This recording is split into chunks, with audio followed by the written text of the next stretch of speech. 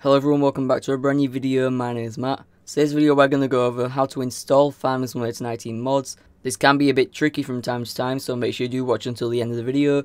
And I'll help you guys as well, so comment down below if you have any issues, and I'll get back to you guys as soon as I can and help you guys out. So yeah, if you do want cheap, legit Steam keys, head on over to dlgamer.com and use code MATT, spelled M-A-T-T, at checkout for a discount.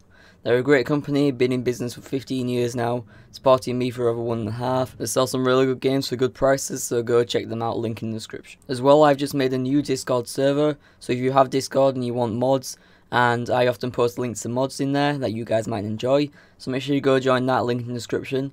And yeah, like this video if you think this will help you or it will help you.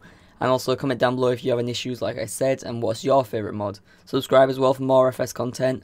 I post videos like this quite often.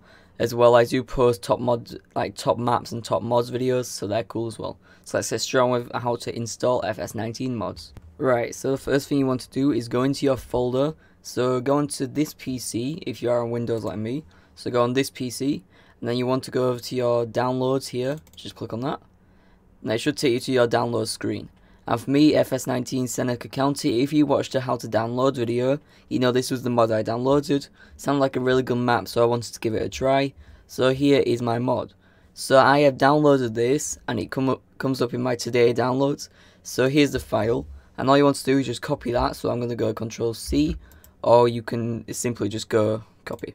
So then you want to go over to Documents, then find out My Games, then go on My Games. This is if you have it on Steam and then go to Farming Simulator 2019 and then go and find mods.